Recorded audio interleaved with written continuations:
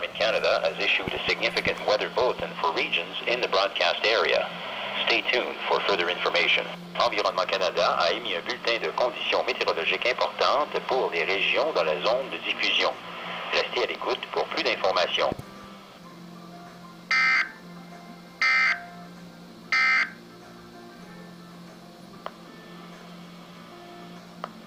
Environment Canada has updated a severe weather bulletin for southern Ontario at 3.32 p.m. Eastern Daylight Time, Wednesday, April 10th, 2013.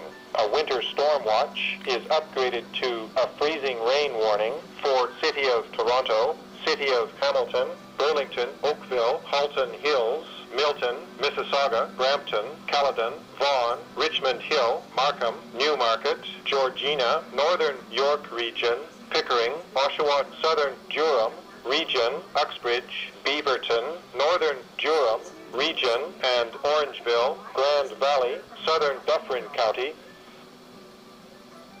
Environnement Canada a mis à jour un bulletin des conditions météorologiques menaçantes pour le sud 11h10, heure avancée de l'Est, le mercredi 10 avril 2013. Une veille de tempête hivernale est maintenue pour la ville de Toronto, la ville de Hamilton, Burlington, Oakville, Halton Hills, Milton, Mississauga, Brampton, Caledon, Vaughan, Richmond Hill, Markham, Newmarket, Georgina, région de York, Nord, Pickering, Oshawa, région de Durham, Sud, Uxbridge, Beaverton, région de Durham, The Environment Canada forecast issued at 3:30 p.m.